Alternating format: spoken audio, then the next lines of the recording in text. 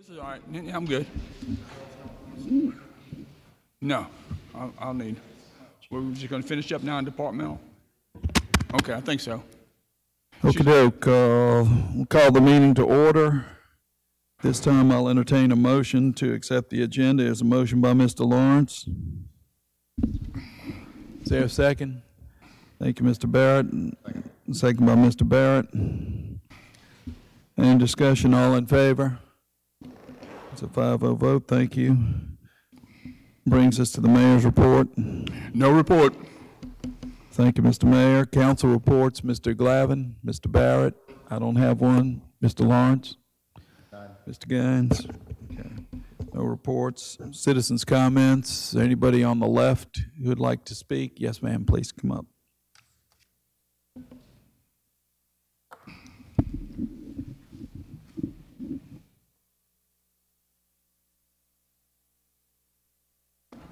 All right. Okay, thank you. Hi, State your name for the clerk. please. Sarah Rusky, the Harrison County Library System. And I just wanted to come back and reiterate um, how we would very respectfully ask you to give, grant us the increase that we requested.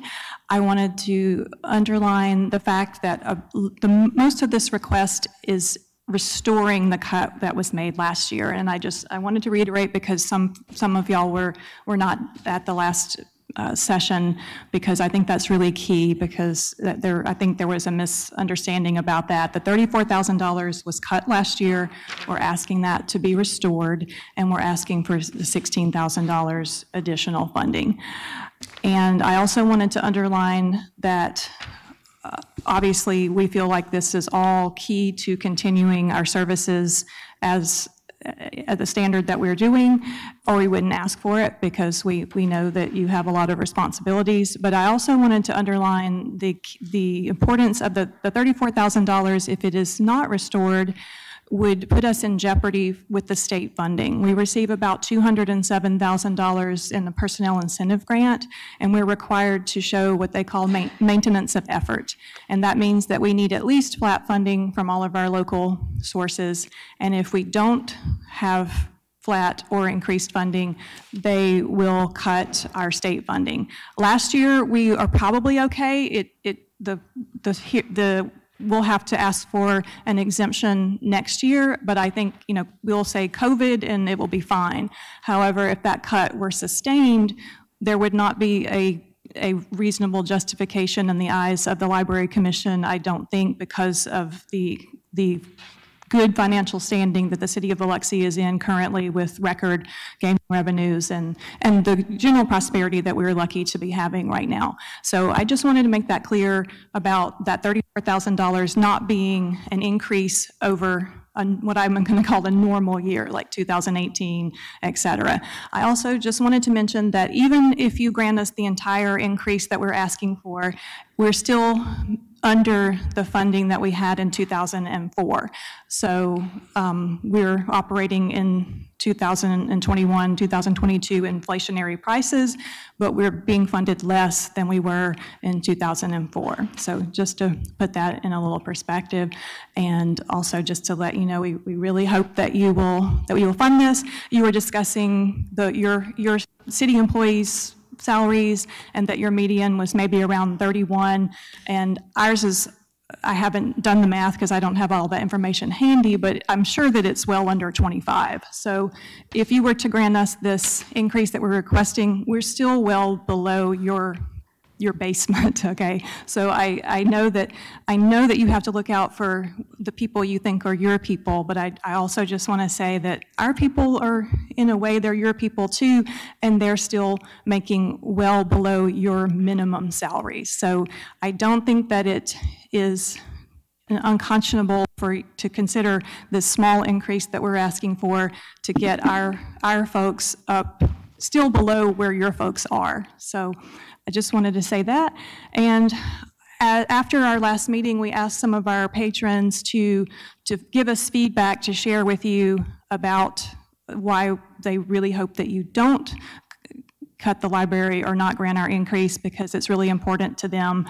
And I, I don't know how much time I have. I think I'm probably getting over time, but I, I- I will share those with you in a written form, but, um, but I, I will be happy to share some of those later if you have questions about why we need libraries and so forth. So it looks like I'm over four, so thank you for indulging me. Thank you, And I'm here if you have questions as you discuss the matter.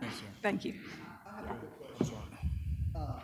So, thousands for where you, but sixteen thousand employee. Increases. And we're targeting, we're mainly targeting, we, we have, um, I, I believe it's 15, Sharon's here, and she's the numbers, she's more of a numbers lady, but we have a significant portion of our Biloxi staff who make under $10 an hour. Let me ask you a question. Plan is between October first and December thirty-first is to hash out raises for our employees. That's right. Go into effect January first. I appreciate what y'all do at the library. I do. You know, I've, I've worked to, to bring a new library and, and, and help, faci- help facilitate that. But perception is important to me. And I believe that the perception of us giving extra money to give raises to the library employees and not giving them to our employees is a bad perception. And so I would propose not not not giving it to you, but waiting until we implement those raises and then giving that $16,000 additional money to the library when we do that at the same time that we give our employees a raise. All right, hold, uh, hold that thought, Mr. Barrett, so we can get through citizens' comments. Well, I'm sorry, I I missed. So if, if, if you would, uh, let, let's move on to citizens' comments, and when we get into covering some of these things, we'll have you back up. Anybody else on my left, your right? Comments? Anybody on my right, your left? There is nobody. Good. Citizens' comments are closed. That brings us to the. Step right up. Okay. I got it. I'm back. Sorry I I'm missed you. now. I got it. All right, I'll try and get my big girl voice on. Y'all know I have really soft vocal cords. Imagine that you're screaming at the mayor. Well, Not about that. um, I think a few things, a few Your extra name- things. your name, I'm please. sorry, Sharon Davis. I'm head of the Biloxi Libraries. I think a few small points that I'd like to drive home are not all of our people are getting raises. We are only trying to pull up the ones who are making 826 an hour or 979 an hour. Everyone's not getting raises. We have two professionals who have master's degrees that fall under the exemption status. We want them to be pulled up to where we can fully utilize them. Right now, I am literally the only person who can work 40 hours, over 40 hours a week, the way that our regs are. So if we get people to call in, too many people call in sick, it's a total scramble. I have lost at least eight employees um, leaving for better paying jobs in the last year and a half. We have had a lot of people who have decided to retire um, simply because they know they're not getting the increases and they're not going to get the increases because that's not what we're wanting, that's not what we're trying for. We're simply trying to be able to keep the employees that we have and get them up to where they're, they're making enough to where they actually want to come in and they actually want to stay with us. And when you make an 826 an hour and you've got a master's degree, like one of our local history people, we can't keep, we can't keep them around. Um, you know, the person who does the animation that plays three times a week or three times a day on BTV, she makes less than $10 an hour. Um, she just had to find a new place to live. She left Biloxi for the first time. She's lived in Biloxi her entire life. She wasn't able to afford housing here, and she moved to a different city. Um, those are the people we're targeting. We're not giving a percentage raise. We're not giving everybody a raise. We're not um, we're not just trying to make things better for all of our employees. This is something that's very targeted to the people that we know we need to keep and to those positions that we keep losing. I just had a person call me on Friday, children's librarian. She said, Tomorrow's my last day. I found a better job at a daycare center. She's making uh, close to $4 more an hour, literally across the street, with far fewer duties and responsibilities. And she had to do it because she had to pay her bills. So um, that's just something I want to drive home, that we're not, we're not all getting raises. And that's not anywhere in the library system. We're not all getting raises. We're not asking for that. We are just asking for the positions that we really need to keep in order for people to come in and see the same people helping them every time that they come in, in order to have people who can make these community connections to help people Thank you, Ms. with what they Davis. need. Oh, sorry. That's okay. Anybody else? Okay, uh, that ends citizens' comments. We'll move to the policy agenda. We're really, I think today it's a last look at the budget. Uh, There were a couple of loose ends on the non-departmentals, um, such as, because last time, we- at our last workshop, we tried to get a consensus on some, some items um, the Kroc Center, the uh, MLK celebration, uh, the Center for Nonviolence. Uh, Ms. Newman brought that up, and I brought that up, and then CTA, I think. Uh, We, we had, we were missing a couple of council members at that time. So, um, what I'd like to do is start, start off with the non-departmentals and look and, and just a couple of things. The Kroc Center, Mr. Gines, you were requesting. Mr. President, let me say real quickly, you've got a, a piece of paper that reflects our last conversation and straw poll votes on all the departmentals. This should be reflective of the last, on our marathon meeting. Absolutely. So, uh, again, th- this is a non-departmental, and this is the total budget, but it's not been up, it's a few, uh, thirty, forty thousand dollars difference. Uh, Are you proposing an increase to CASA that we didn't discuss? No, we- this is a reflective of what you did, of what was passed the last, Why is CASA in yellow? So if you look at, That was, an- uh, well, I'll tell you. This was He- dis- Here, look, excuse me just for a minute, and this may save us some time. yeah. At our last discussion, my notes indicate that uh, we were, we originally, uh, what was proposed was $10,000 for the MLK celebration. I I think the question was, was that going to be in Biloxi? Yes, yes. It's going to be in Biloxi, and if it was, uh, we wanted that contribution to be $10,000, but it would be only 5,000 if that were, event were to be held in Gulfport.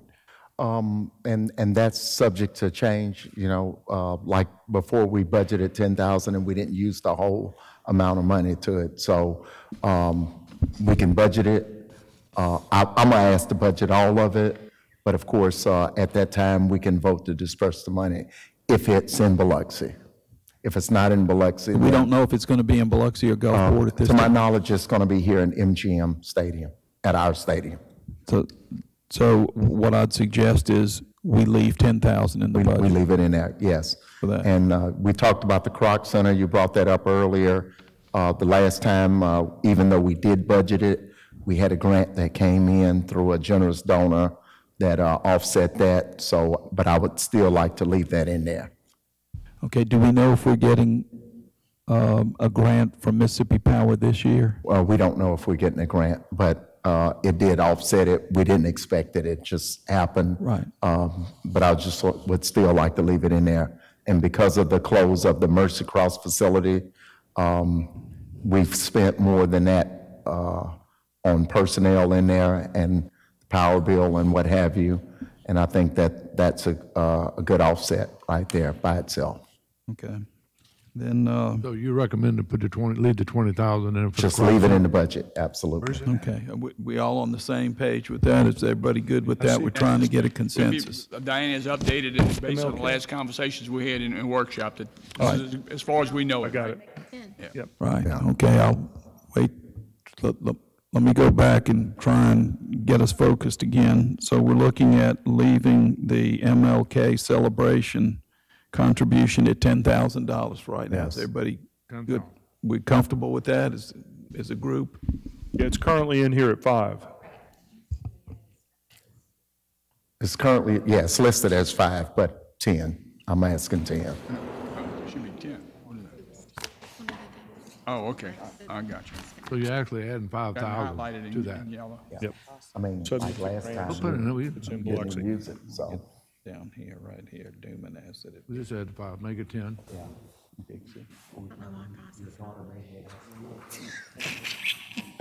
She asked for the Center for Nonviolence as well. You better do that.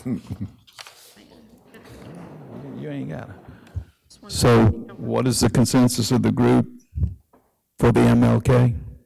Yeah, I'm gonna say 10,000? leave. That we approved the request, um, subject to grants and location in Biloxi. Yes. Yeah. it could offset. We'll do that, and if it's not in Biloxi, then we're only going to contribute five thousand of that, okay? So we're good at ten thousand.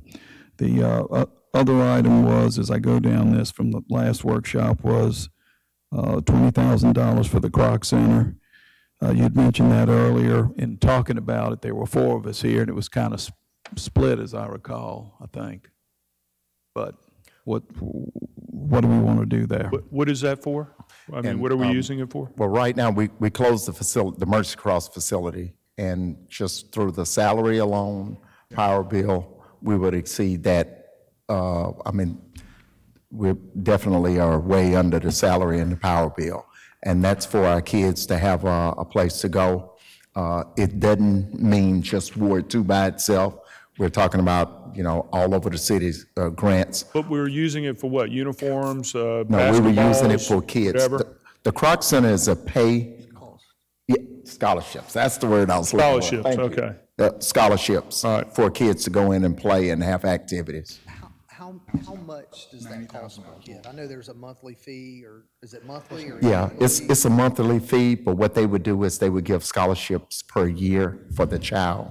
And how and many, I- that twenty-five thousand dollars, how many children? I think it's up to 100 kids, if not a little more. And, and what, um, I'm sorry, and what, um, what is the qualification for that scholarship? Qualifications, it's, um, they would have to meet the minimum age. I think the minimum age is eight years old, all the way up to 17 years old. And of course, they have cons- parent- parental consent to go in and out the facility. Do they have to live in a certain area, or? They do not have to live in a certain area. And I think we had this conversation, what, Okay. a year ago? And Okay. it- kids with outside of the ward also. Okay. um, So basically, it's the first, first come, first served? First come, first serve, if you qualify. All right, yeah, I can get behind that. Yes. Okay, how are we with that as, a- as a group? We're good with this? I am. I, I think it's, a- I think it's a good thing. So the last time we did the same thing, and he actually wound up with getting a lot of money, more grant money. Yeah. That's still a and we got possibility. grant last That's still a yeah. possibility too. But yeah, we all lose at Mercy Cross as far as that, so I, I think it's a good thing. Yeah, and Mercy Cross is no longer, so we killed the power bill and we killed the. Jim Foster. Let me say again, I think you and I discussed it, if Mississippi Power is to come with the 20,000, we won't be using that 20,000 for scholarships. We Absolutely, haven't got none. So we won't spend it, all we're allocating it. Gotcha. Right, that, that's, that's the conditional aspect of good that. move. Okay, so we're all good with that? Okay, it Gonna sounds vote on like we are. Just, yes, I'll vote for it. I don't, no, I think we just need a consensus. We can vote on it, uh, at, at the budget meeting on, uh, what, the fourteenth, September fourteenth.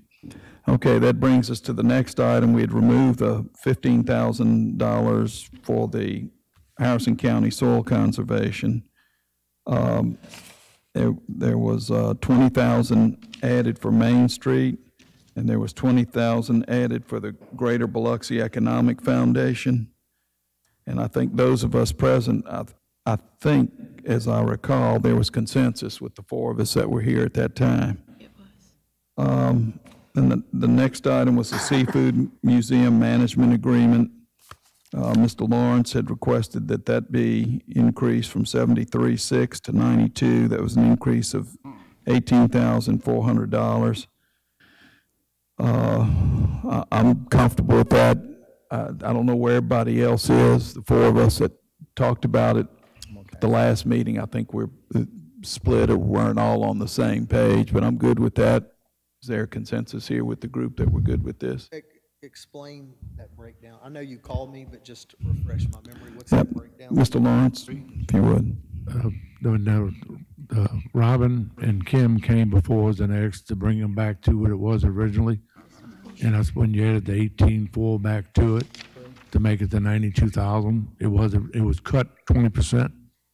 So what we're doing is going back to adding eighteen-four back to the seventy-something, makes it ninety-two thousand like it was originally. When was that cut? That was, uh, the- we cut that about ten years ago. Hey, well, we kept saying we were gonna go back to it, we were gonna go back to it. We just never did. So they came this year, presented it to us, and I'm just asking y'all to put that back in there. You know, it's a City of Biloxi building, City of Biloxi property, everything about it's City of Biloxi. So it's all us. So just asking you to go back to what was it originally ninety-two thousand. That's what they requested, you know, so. Any discussion on that? Any concerns? None. I'm good with it. You, Robert, you good with it? Comfortable with it?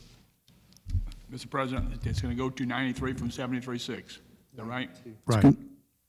It's gonna go to ninety-two from seventy-three six to ninety-two. Okay. Okay, it sounds like we're on the same page here. The next item was CASA. We had originally budgeted five thousand, or that's what it was this past year. Ms. Newman had asked that we increase that by five thousand. I don't have a problem with that. Anybody? Question? Robert? Aye. Well, you'd have to ask Ms. Newman. Oh, it's, she's not here, um, to ask, but why? It's traditionally been five thousand. Um, you know, this is just another group that, that mimics the Department of Human Services and different national agencies that, that do this. Um, I'm not sure that they provide a function. Margaret Alfonso, who was the judge of the youth court that really promoted this is no longer even in the youth court. I don't, I, I just don't know what function they provide or, or why it's a service, um, and why we support it or why we fund it. Like, it's, I can't recall exa- exactly, it was related to, I think, ju- juveniles that were being adjudicated. And I, I, I don't think mentor is the right word. no, it, it's not. It's a, it's a voluntary program that, that we, Yeah. we use, but we have the Department of Human Services, we have the Child Protective Services, we have so many entities that do this already. I, I just don't understand. We continue to fund people that come in here and ask us to give us money and tell us it's for the kids, but it's, we're just doubling theirs on a whim. I, I, she's not here to advocate for it and to give me her position. I just don't know why we're doubling it on a May I whim. suggest that we leave it in here, and then when we have our big look at it, maybe bring it up then when we have the full council to, to chime in? Well, I would suggest that we return it to five thousand, the way the whole council assumed it was, other than Dixie requesting it to be increased. If just one of us asks us to increase it all, well, then let's just go through here and put the numbers that I want to put on everything. Uh, I, that's, my point is why increase it because one council member suggests something. Um, So what's the will of the council? Uh, You just give me five or 10, give me a, we can do thumbs Half up. if dozen you- or the other, if we increase it or leave it the same, obviously it was increased by some request, and somebody made a decision to increase it, uh, you know, I, I would, The four, it the doesn't four, matter to me, but. sure, the four of us that were present last time when Ms. Newman made that request had no problem with it, but the. but I the- was here that time, that's Wait, absolutely wait, not just- true. Please, just a minute. But the reason we're discussing it now is because three of you weren't here. There you go. So, you know, Mr. Deming's point is leave it at five. And Mr. Barrett said, and I think Mr. Glavan, your, your response was, well, we can always, we can come back to it, but really what we're trying to do is firm up these numbers so the administration can get done what they have to get done. Can I correct something? Uh, The four of us that were here, I was here, was one of those, and I was not okay with increasing costs. It wasn't mentioned. She mentioned the Women's Center for Nonviolence. She Now, you- mentioned that as well. Now, you're suggesting she mentioned that as well, and that's fine. I must have overlooked that. I vote against CASA every time because it's a waste of funding, because it's duplicate services for, that multiple organizations already do. Um, So So you're a no? absolutely, Okay. know, like increasing How funding. Does, how does the rest of the council feel about the CASA? Leave it at five, leave it at 10? To me, it doesn't matter because it can be amended on the fourteenth, whenever Ms. Newman tells us why she asked for agree. an increase. So for me, one way or the other, um, it can be amended. If we move it back to five, we can amend it to ten, or if it stays at ten, we can amend it. Does it make a difference with anybody at this point, whether it's five or 10? If not, we'll put it Makes a back at difference with me. five. Let's go ahead and leave it, and then we'll, we can amend it later. Leave it at 10? Yeah. Okay. Is everybody good with that? Leave it at 10? If you want to amend it, you still, okay. All right, so we'll leave it at 10. Uh, The next change was the Gulf Coast Center for Nonviolence. Um, The request was for 25,000. That was from Ms. Newman, and- and I agreed with that. And uh, later, in, in checking, the Gulf Coast Center for Nonviolence is also getting, is, is already earmarked for ten thousand dollars from Community Development Block Grant, so I reduced that amount from twenty-five to fifteen. And, um, Diane, I got a letter to you about that, okay, just so you can see that. Uh, so anyway, that was a change. I wanted you to see that we'd reduce that, that ask, that particular ask from twenty-five thousand to fifteen thousand. The, uh, Gulf Coast Center for Nonviolence, that's a family justice court. That, that may or may not get off the ground. Those funds may or may not be expended. It's a, it's a countywide effort. Uh, that was an earmark for five thousand dollars. The, uh, only other, let's see, the next thing was the Coast Transit Authority we had some discussion and were split with the, with the council members that were present whether or not to in, increase it. This, this current year it was $220,000, but they also had, CTA had uh, received a grant, I think, of 70000 or could have been a little more than that. And uh, the ask this year was for 294000 which would have been, I suspect, close to or what it would have cost without the grant. Um, But anyway, we're sort of split on that. I see Mr. Braden here, if, if- representing CTA. If, if you had any questions, you're welcome to come up if you'd like. I know it's a bit unusual for the board member of an organization like CTA to be here to represent the organization, but unfortunately, uh, Kevin Coggan had intended to be here today, and he tested positive this morning for COVID, so he's going to be uh, away from the office for a couple of weeks. So I, I'm here to, to represent uh, uh, CTA and ask any, any, or answer any questions that uh, I'm capable of answering. Uh, question, uh, he tested positive for COVID? Yes, sir, this morning. Him? You I have, I haven't been around Kevin in over two weeks, so, Get way back in. okay. Okay, so I guess my, My question, Go ahead, like Joel. I did last week, I asked a question, like I tell you, I'm, that's my job to do that. Y'all added seventy-four thousand to the two twenty to get back to two ninety-four. Y'all justified, according to what your book and everything said. My thing, a couple questions, going back to raises and everything for our citizens, I mean, our employees. Do y'all give us a full audit from the CTA, an outside audit to the city of Biloxi, to see that y'all? I know there's an annual audit, but whether it is actually forwarded to the city, I couldn't, uh, I I don't really know, but I can take that uh, uh, question away and provide you an answer by email if you'd like. That Well, what I do, like to have something set back to the council to see the accountability of you, your, your employees, what y'all pay them compared to what we're doing. Mm-hmm. We needed to do two seventy-four to make the CTA work, then that's, we I really don't have a whole lot of choice with that. But I still think that, like I told you before, somebody asks for seventy-five thousand, I'm gonna ask questions. You gotta prove to me that it's feasible for us to be able to do that. But I also need to be, you gotta be held accountable, not you, CTA.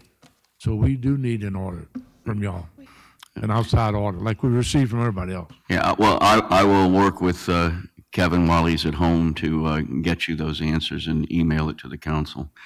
Um, And I don't want to sound like, like another uh, repeating uh, uh, person like the previous speakers, but again, this is a partial restoration of what the prior budget was pre-COVID. Uh, So historically, the city has uh, subsidized CC CTA for the last 10 years between 300 and 350,000 a year. Okay. We, I got Mr. Glavan. I, I, I do have some questions. At, at our last meeting, when, uh, you put this request in there, I believe there was a question, if, uh, this wasn't enough and you found your expenses were, uh, gonna go over this, you said y'all would find, uh, a way to make up that difference.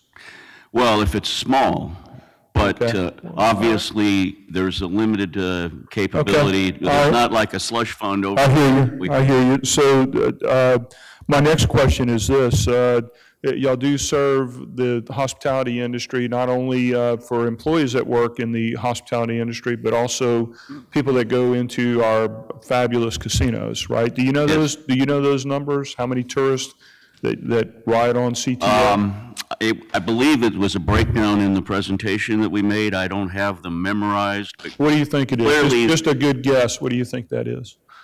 uh, somewhere around uh, 30, 40,000 riders. A year? Uh, It's a big number. It's a big number. and it- it's a- If you it- give me a second, I can look it up, but uh, No, you don't have to look it up, but my point is this, so all these many riders that go into the casinos and spend uh, whatever's left in their pockets, um, do the casinos subsidize CTA? they do not. Why not? That's a good question. Uh, I mean, I have been told the, for the last eight months that I've been on the board that uh, previous attempts to do so was, uh, went nowhere.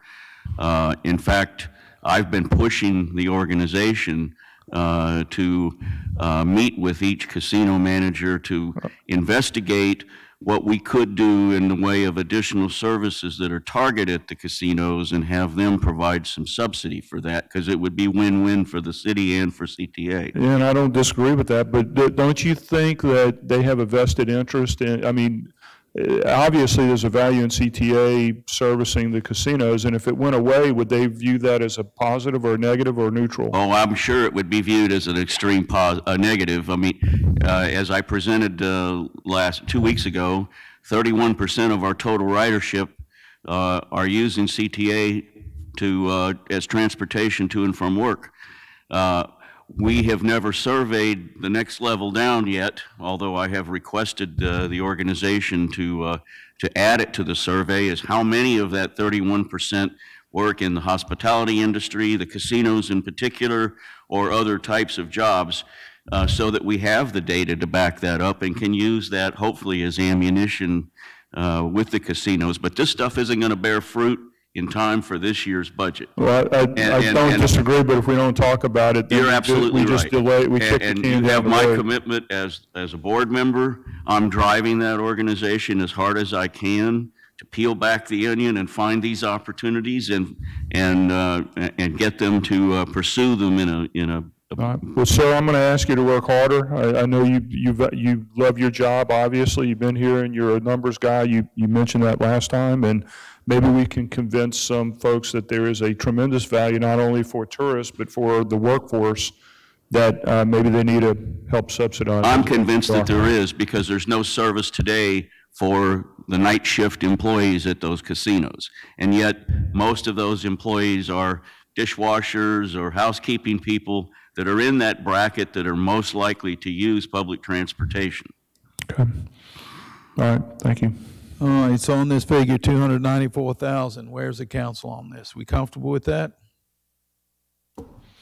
Um, I, I I have a couple of questions. Mr. Barrett?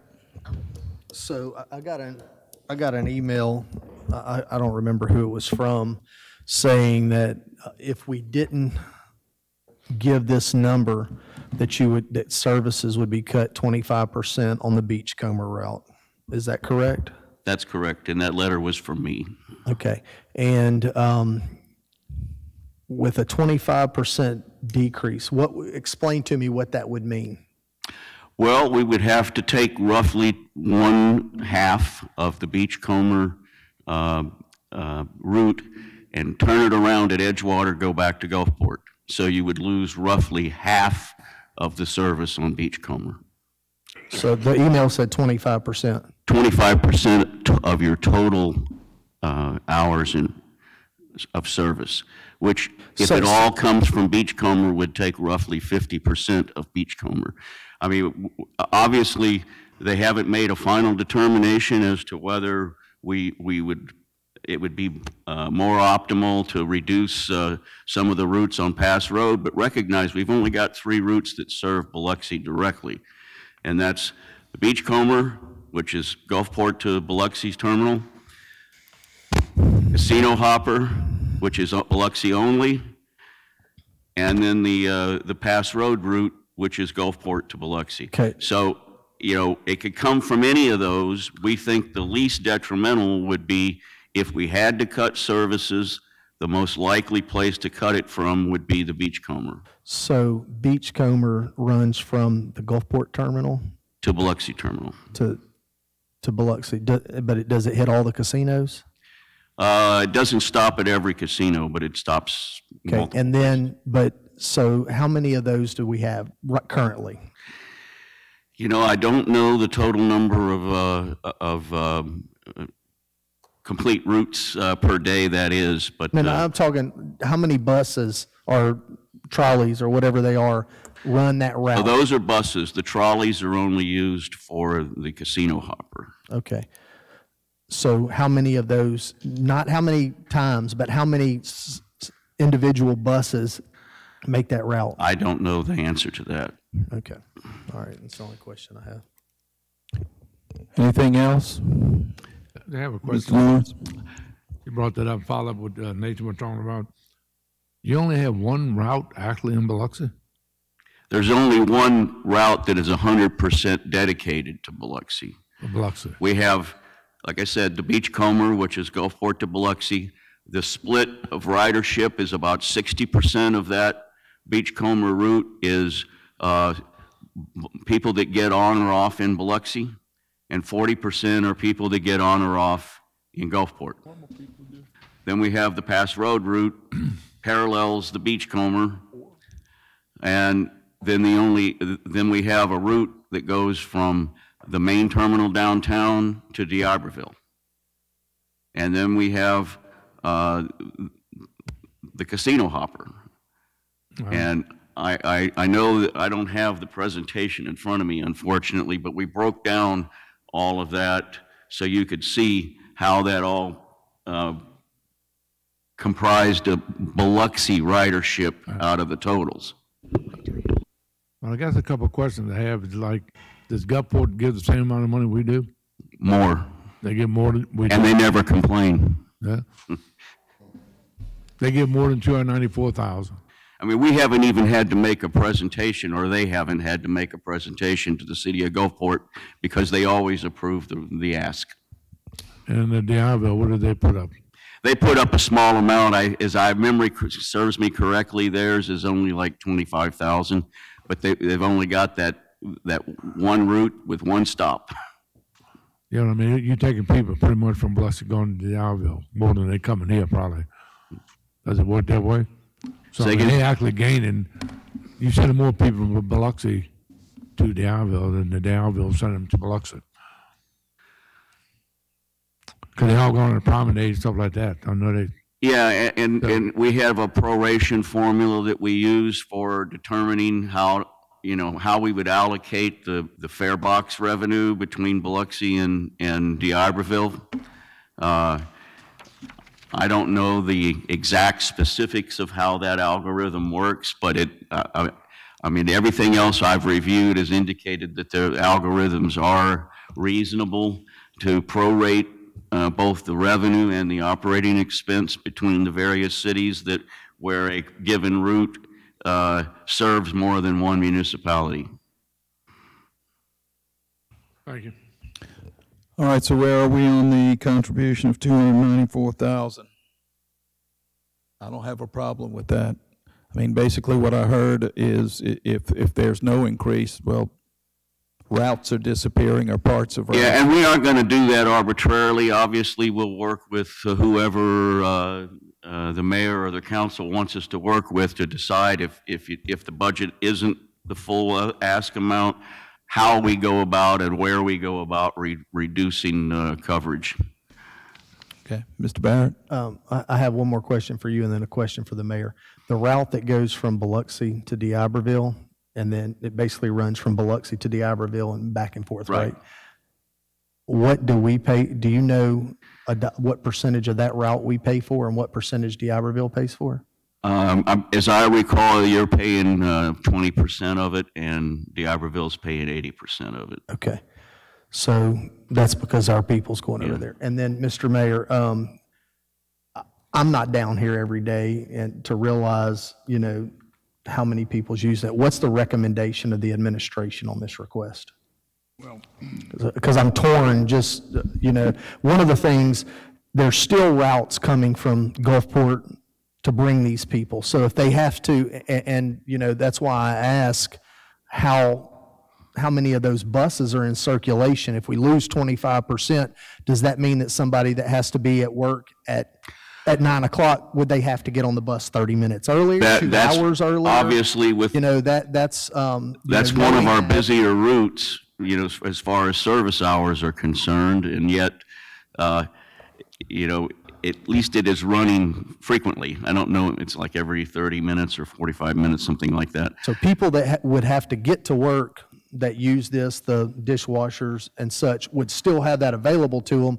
They may just have to leave for work 30 minutes earlier. Yeah, and we would have to take a look at time of day and look at which are the, the lowest ridership to determine, you know, okay, well, this, this particular route at 8:15 uh, i- is a candidate to be eliminated because it's one of the lowest uh, ridership times of the day, or, and that analysis hasn't yet been done. Okay. um, you know, we're comfortable with what we proposed here, with inclusive of the 75 hit, or 74 something. 294, I think, is what was talked about last time, isn't that right? Correct. Okay. So my, my opinion is, whatever the will of the council is, this affects your wards more, well, it doesn't affect mine at all, but this affects your wards more than it does mine. So whatever the will of the rest of the council is, the majority, that's what I'll go with. Well, it does affect your ward, it's tax dollars. Yes. So they're, they're Right. So as far as, subsidizing. as far They're as. subsidizing. My point is the usage of it. Yeah. And the people that, people in my ward don't have this available to them, is, is, was my point. Um, and, and so, you know, if y'all feel that it's needed, I'll, I'll support it, um, what, whatever the will of the council is on this. Mr. Ga, Mr. Glavan, you look like you're pregnant with a question. Not with a question, I'm just, I'm just so perplexed with, with CTA's re- request for these increases, and uh, we're still not out of the COVID uh, issues. Um, You heard uh, their expert say that he doesn't even know why the casinos won't chip in a little bit. Um, You know, I, I just, uh, th- this gives me every year some angst that, you know, we, we, we have a significant amount, $673,000 was uh, last year's budget, now we're increasing it another 50. It doesn't sound like that much, but, The library. I'm sorry, I got the wrong one. It's same, it's almost the same damn thing, though, but, um, anyway, it's a, it's, it's a lot of money that, that we're looking at, and uh, it, it always gives me pause. It always gives me pause when um, we have an industry that's benefiting greatly from it, and uh, everybody says that's okay, you know, so um, I, I got a lot of people that question me about it each and every budget year. You know, why, why do we keep doing this?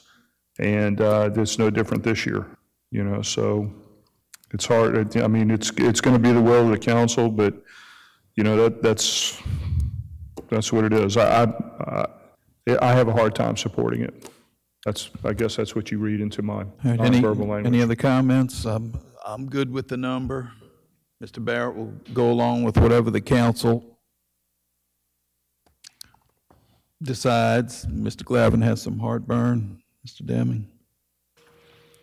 I mean, it's irrelevant. We can just amend it on the 14th, right?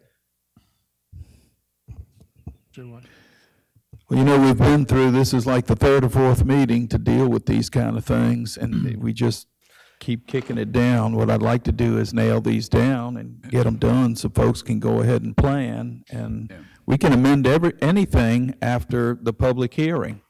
But, but I know not everybody's happy about being here after a three-hour council meeting dealing with this, but this is the third time we've been going around and round on this, Mr. I mean, let me tell you the score right now. I'm looking at bottom lines, just three pieces of paper in front of you. All right, if we do the 294 and the numbers fall out, uh, with the ads that uh, have been talked about, the, to 92 with uh, that and uh, uh, another, something or another. But anyway, bottom line is on this piece of paper.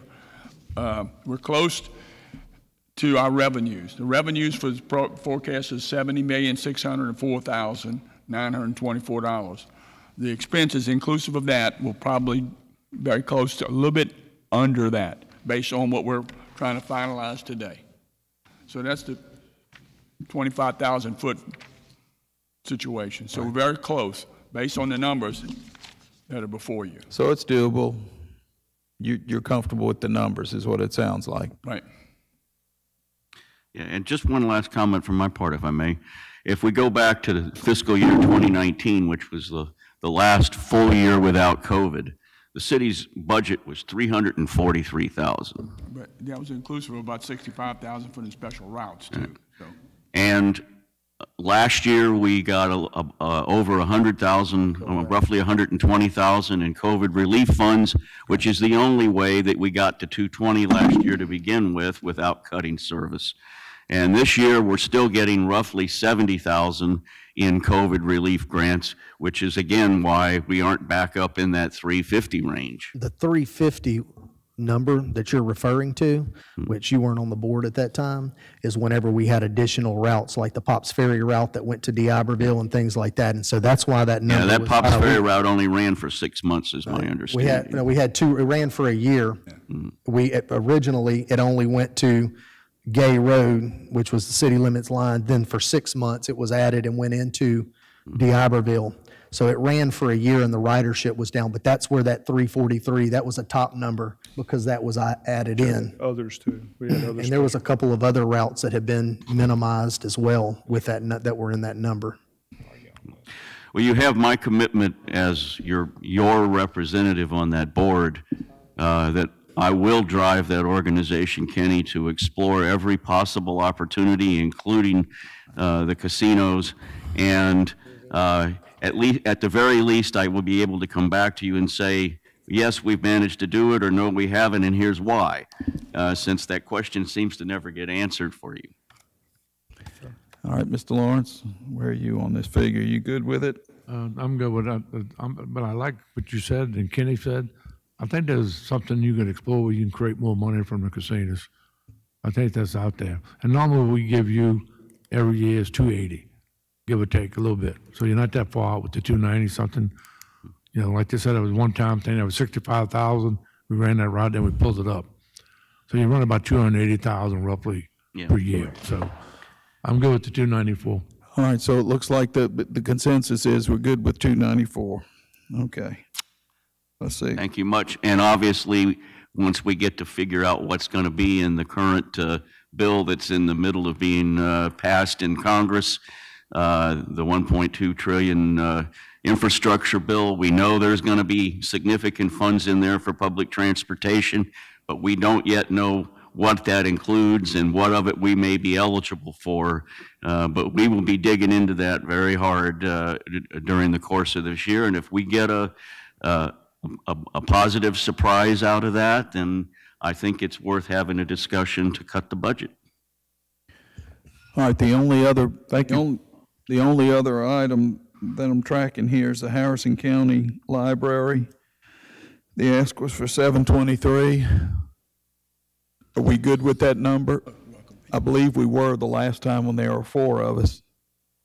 I think what uh, Nathan was saying, yeah, I kind of agree with him. I think you should give them the thirty-four thousand, which actually was part of their budget before.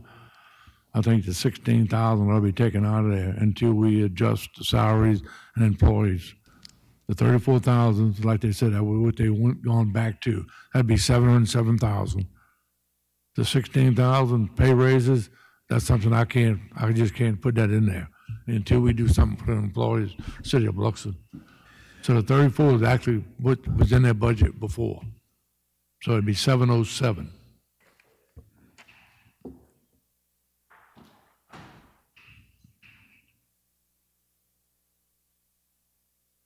I can repeat that but Nathan since he come back in. Yeah, Nathan, it basically, that's, on- that's, well, it's officially on the record now, thank you.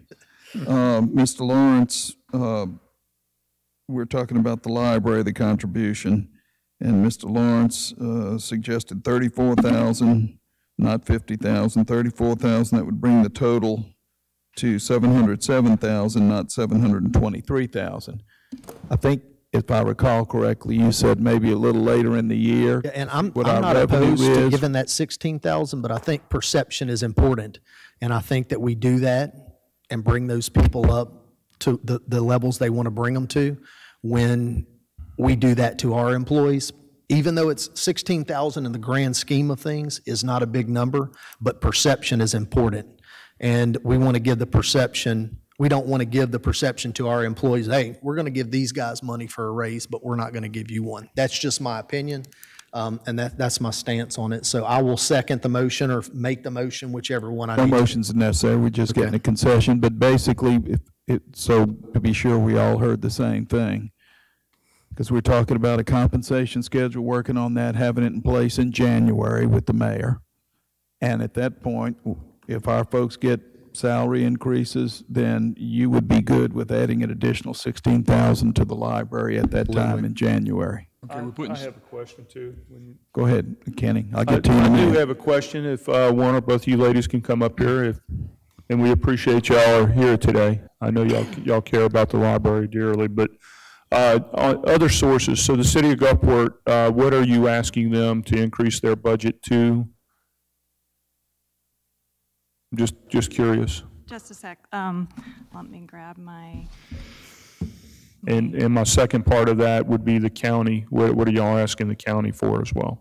we're asking Gulfport to increase to- from 404 to 416. That's a little bit less just because those, we don't have as many employees who need, a- need a raise. And we've also, you know, in, in Biloxi and in all our, our cities, we've had some places, we've had retirements or we've had other things that we can do to mitigate.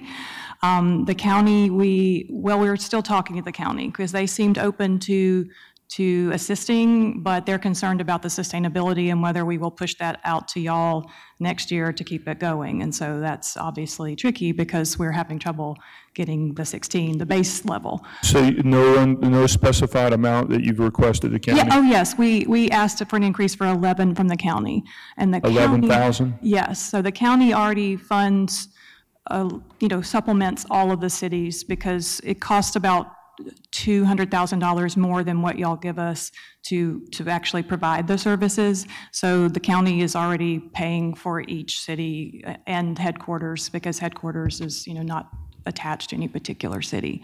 So, so they're, um, and also just to remind everyone about the, some of the history of the funding, some of the other entities have also chipped in for the, you know, we had this large computer project, infrastructure project. The county gave us a significant amount for servers and also to help with federal, to match federal money. Um, Gulfport also gave us, um, I, I'm going to ballpark at like 38,000 or so, probably more, to replace all the Gulfport computers. And so. Are there any grants that y'all didn't anticipate, that y'all, are y'all getting any kind of grants from Oh, yes. relief or anything like that? Well, we, we, we, we get, we're getting, I mentioned at the last hearing, we're getting a quarter million dollars for an outreach vehicle, but um, it's very, very, very rare for there ever to be sustainable grants for personnel expenses. There are, there are grants from time, that's a, that's a one-time grant, that's not going to happen again.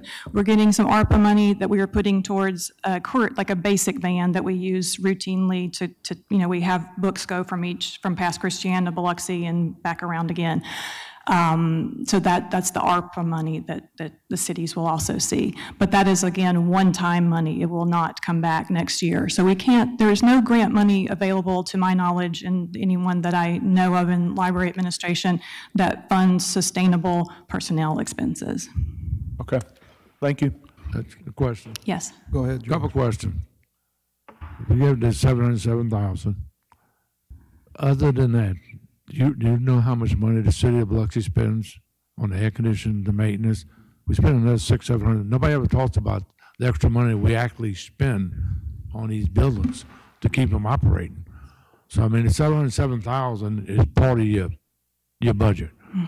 But the city of Biloxi puts up another six, seven hundred thousand dollars easy in light bills, maintenance, We- everything else.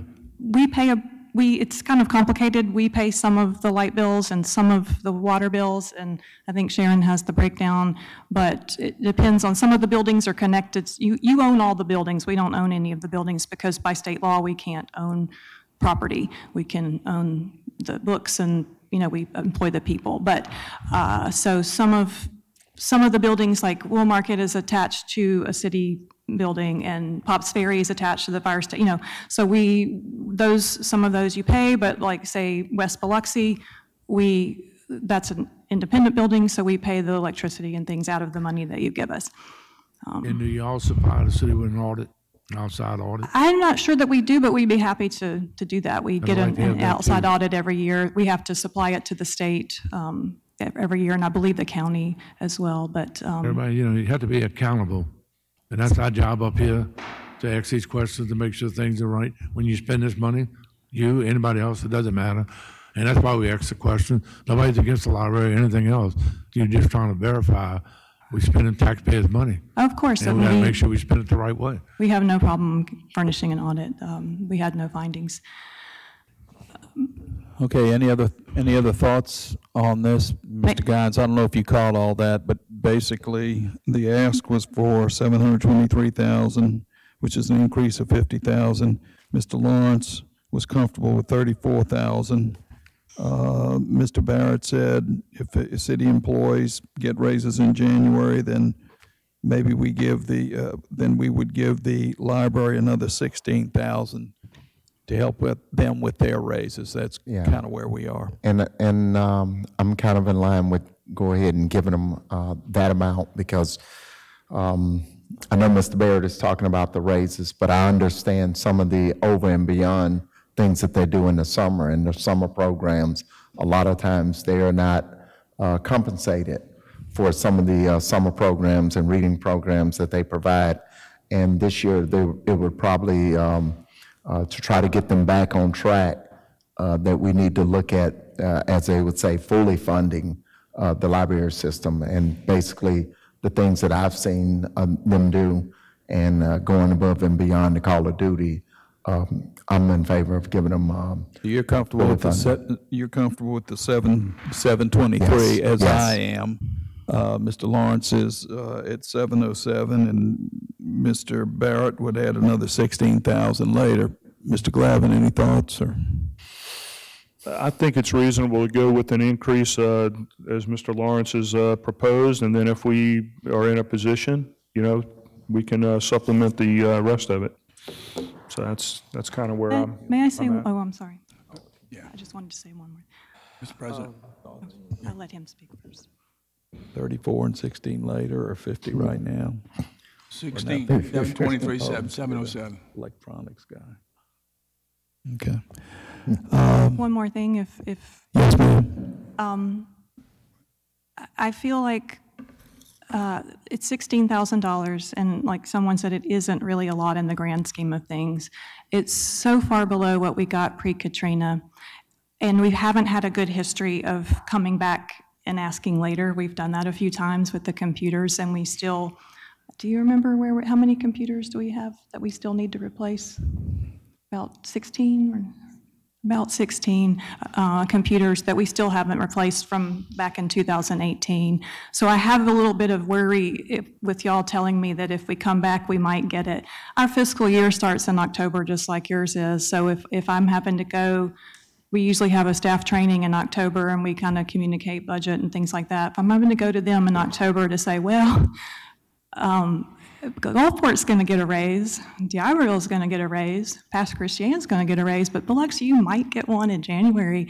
Um, I don't know how I'm going to do that morale-wise. So the only way I can accomplish a raise now which I feel like I really need to do. And again, it's a tiny raise. I, I understand perception, Mr. Barrett. I think that is, I mean, I understand where you're coming from with that, that you don't want your people to feel, you know, less than, but, but I'm thinking of the perception from my people, they're definitely gonna feel less than when they know that your people are already making two, three, four dollars an hour more than they are now and they're maybe going to get more in, when y'all do your raise, but we can't get one for people making 826, 979. The only way I can fix that, and I, I will have to fix it because I, I feel like the other, the other funders are going to allow us to do this small raise. We'll have to reduce services. We don't have a choice. I can't keep asking my people to deal with the kinds of, you know, you've seen on TV people acting out in public places. Library is a public place, and I'm asking people who make 826, 979 to deal with with angry people, people who are mad because COVID, they're they're mentally ill, whatever it is. Yes, ma'am. Let- let- Let's, let's do this. Mr. Mayor, you said earlier the num, the numbers are doable, manageable. W- w- We've still got some difference of opinion. Let's just leave it where it is right now. We will have to reduce services though if we can't. If we don't get the Right. 16, I can't. And we'll I be can't do vote, it. we'll be voting on it as noted earlier in a couple of weeks. So right now, let's just leave it Can I say something? at seven twenty-three right now.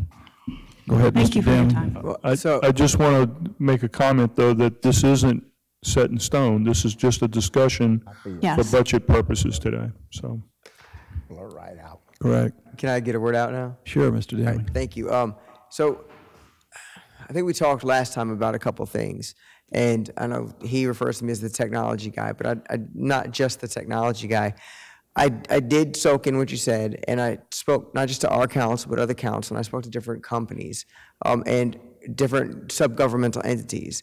And many of them agree that there are grants that can be written from different groups like the WIN Job Center, places like that, for groups that provide services in lieu of their services.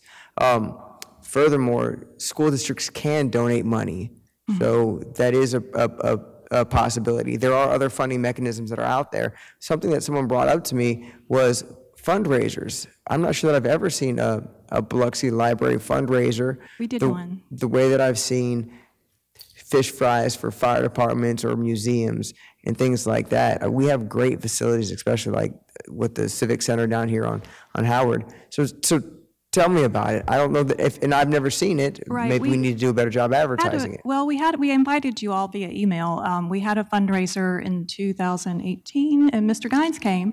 um, And it was at the, at the courtyard at the Civic Center. And um, we raised about $4,000, which is nice. It helped us, it helped us with some of the computers.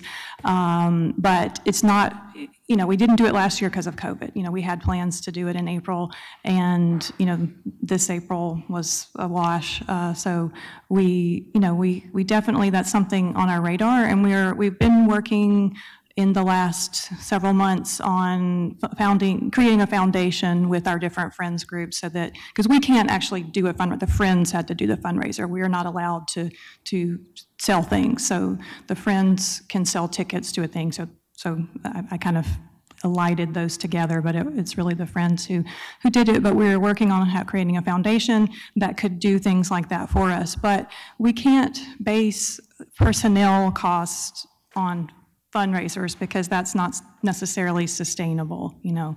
And we're, we're a publicly funded public library. So again, as I mentioned earlier, when we have, when we're trying to get state funding and other funding, if, if we, you know, if we're having to go to, to fundraisers to pay our staff, you know, that doesn't, that doesn't work very well as far as. Very good dancer, aren't you?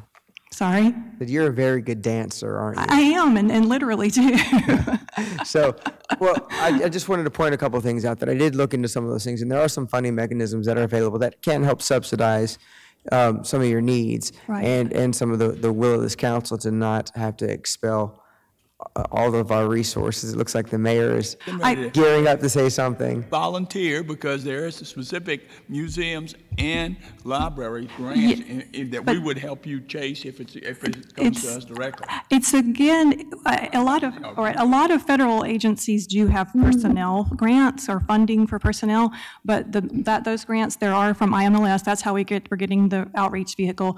They do not have personnel grants. I know WIN does, I know other federal entities, they do provide a lot of funding for personnel, but ours are not. Ours are for programming, for, maybe for servers, for, uh, Uh, you know, one-time things. They, they don't exist. I did think about your, your suggestion about the, the visits, but it would require, you know, say we charged $100 a visit, you know, just the logistics of how many visits we'd have to have to make enough money to, to fill that gap is just, we, and like we said, we already having problems keeping staff. We have one children's librarian per location, so I don't know how, like, it just logistically would be, I don't see how it would, would work, but, um, I mean, it sounds like a, a chicken and egg argument, right?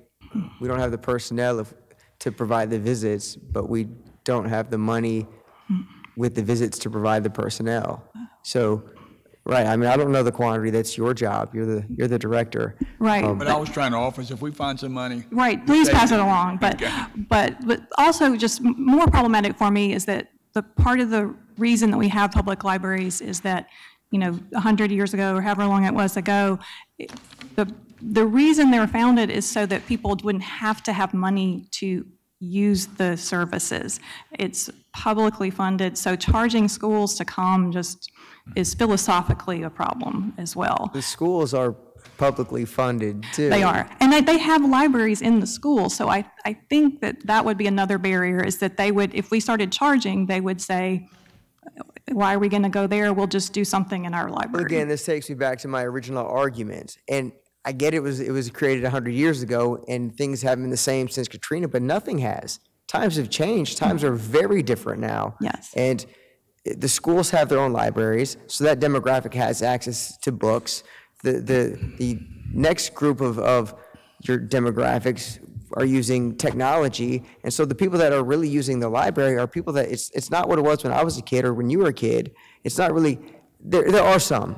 Don't, don't get me wrong, there are some, I get that. But the overwhelming majority of people that visit the library, I guarantee you, if I did a, an actu- actuarial chart, it's decreased significantly every year after year, except for those services that the, that, that can be provided at the library through technology, looking for jobs and, and things like that. Sharon wanted to respond to I, that. I I thought of a, a a fairly simple way to, to, to say this to you. The format of information is changing. I'm sorry, I can't hear you. The format of information is changing, but the need to access it, especially for those without monetary resources, is not. There is still a gap. And we are in a period professionally where we are having to transition from those traditional sources, like, you know, the Reader's Guide to Periodical Literature. If you went to, if you went to college and they had all those giant green books that took you forever to dig through. We are in a process of trans, um, transforming from those old ways into providing the kind of access that people need to the digital resources. If we don't have the funding to do that, you're making us irrelevant. It's not the people not needing us. It's not the access not being needed. All you have to look at is the misinformation. All you have to look at, Mr. Barrett didn't know that we might could have helped him, you know, do some completely um, non-biased research on uh, the insurance company. You know, that's what we're trained to do, things like that. So, So, but it's the fact that we're not, The library's we're in the middle, we are in the middle of transitioning from a completely paper-based, which we no longer are. We're never going to be, I don't believe, completely digital. But our role is to provide the access to that information. And just because people aren't, you know, sitting around staring at books in the dead quiet of the night at 3 a.m., you know, like you think of in, in high school or like we're portrayed in media, doesn't mean that the access to the information isn't necessary. Mm-hmm. Have you ever, have you ever done a Google search and gotten the paywall for an article you're looking for? I've done numerous Google searches and found free versions of almost anything I've looked for everywhere. Even New York Times articles that are that are costly, I can reroute and find it If you're somewhere savvy else. enough and you have someone who's taught you how to do it, what about the general layperson? Could, What about the dishwashers and the cooks? Uh, don't tell me dishwashers and cooks are too stupid to figure Google out. That's absolutely No, I'm not. I'm Oh, saying that they need to be taught, they need to have a place they can go. let's, let's get redirected simply because we're far afield. I got It's- gavelled. It's been a long, it's got been a long day.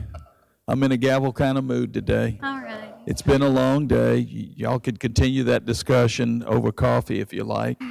Uh, I don't know that there's anything else we need to do today. I mean, Wait a minute. Lawrence. What are we doing? Are we doing a 707? 23. What we said was, we're leaving it at seven twenty-three. If anybody wants to No, kick, we, we didn't say that. You said that. I said that. Right. Okay, I'll listen to you, Mr. Lawrence. What do you think we should do? I'm, I'm like uh, Kenny and Robert, the 16,000, we said we'll come back and deal with y'all with the 16,000, we'll do that. But we'll have to cut Now, services in the but just- meantime. You know, you, you up here asking for money. Our job is to, to distribute the money the correct way, in the way we feel best. You can come and ask for a million dollars, that don't mean you're gonna get it. You know, I'm just saying. So my thing is, we said seven oh seven, vote on that. If it, whatever you gotta do. That's what we said, us three said that. Is that where you are, Nathan? Is that where you are, Kenny? That's where Kenny is. Okay. All right. I- I'm with you. All right. Well, we'll we'll bow to the will of the council comprised of three folks at this time, which is fine. So we'll look at, what was the figure again, George? Seven, No seven. Oh, seven, seven oh seven with an additional, was it sixteen? Sixteen. an additional 16 in January if, if city employees get raises. You might be able to do it before then if, if we roll out some. whenever. I'm, j- I'm just getting this clarified, don't complicate it, thank you. All right, 707 is a number, they're like the plane. 707 is a number, all right, 707. okay, there we are. Any, you're like Columbo, you have one more there's question? Okay, On the, the, the three hundred thousand is the fact on the plus for the insurance, the property insurance. Did it come out to be that high? An additional three hundred thousand, so it's three point two million On on property. on the property insurance. That's all part of this, this part, this here. You kept, you suggested that, is that what it's gonna be? Additional three hundred thousand on property insurance? 3.2 total, additional 300 on top of that. So that. three point two million it will be plugged in, correct? Right. All right. Mr. Lawrence brought up an interesting point a few minutes ago, We don't need more, more points today. Just and, and that was how much does things, how much do things cost? In, in 2018, you, you asked us how much does a museum actually really cost, and we, we broke out in the accounting system the, the, el- the uh, elements of, you know, uh, repairs, maintenance, uh, electricity, and so forth. So what we found by the end of 2018, that the Ohr Museum didn't really cost $60,000, it actually cost $158,000. And the Seafood Museum didn't, didn't really cost $73,000, it really cost $152,000. And what we're, and, and, oh, by the way, the Mardi Gras Museum really did cost $48,000.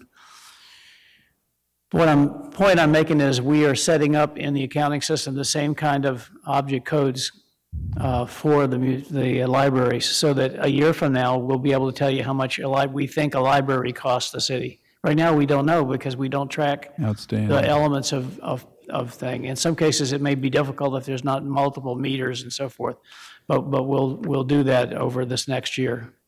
Is there a motion to adjourn? Thank you, Mr.